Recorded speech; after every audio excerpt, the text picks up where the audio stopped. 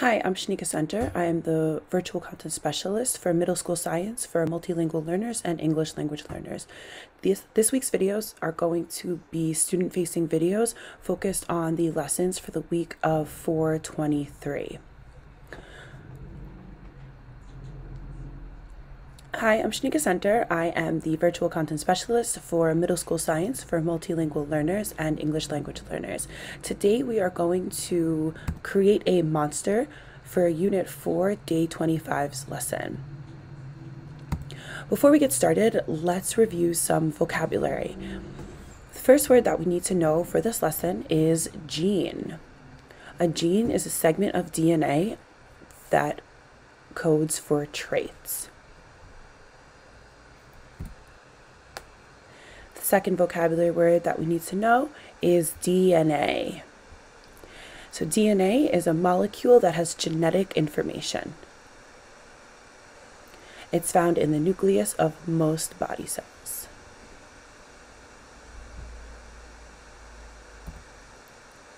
A trait is a characteristic or a feature.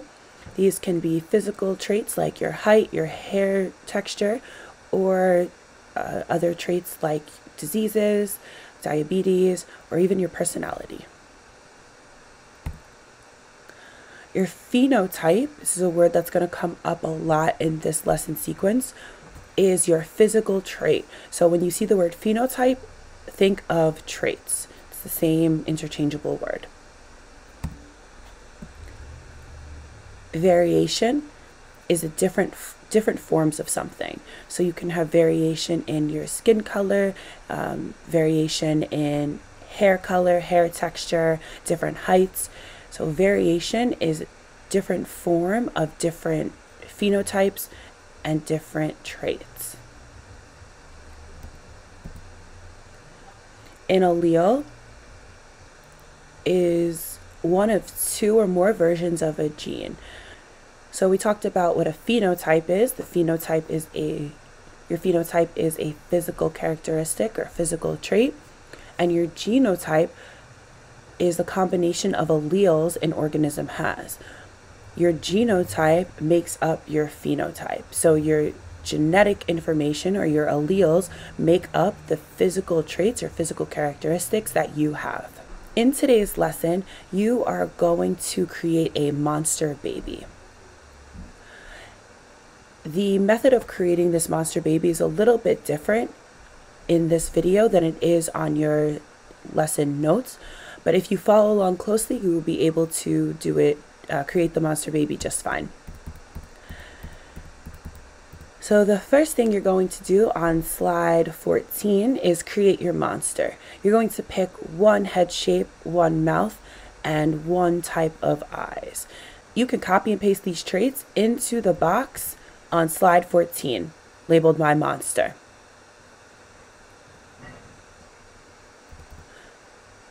If you do not feel like creating your own monster, you can copy and paste one of the monsters that I created for you here.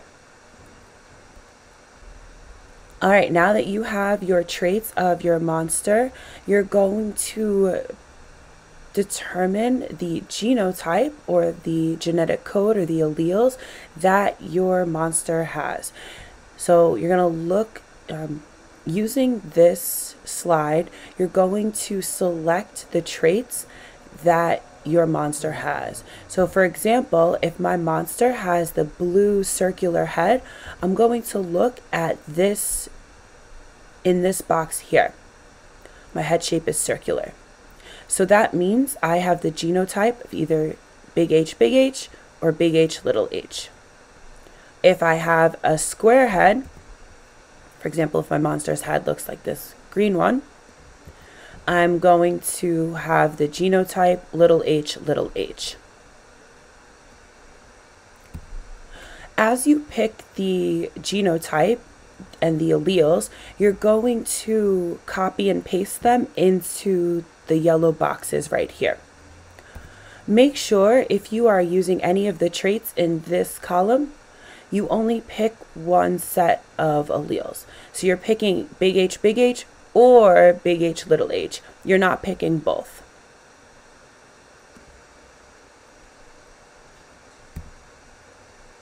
So, for example,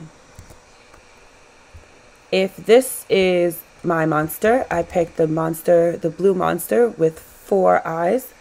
I'm going to copy and paste my monster here. Put it in the monster box. And then I'm going to pick the alleles.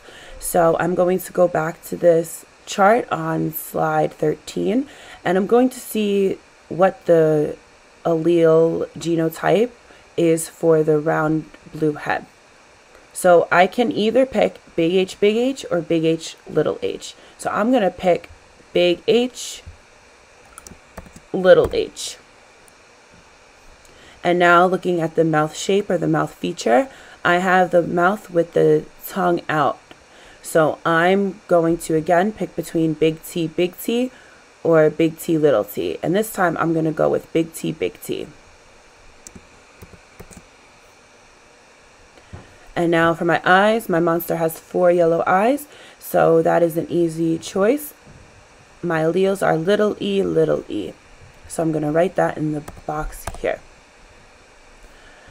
So once you are finished with filling out your monster's picture and your monster's genotype, um, you are going to return back to the presentation given to you by your teacher.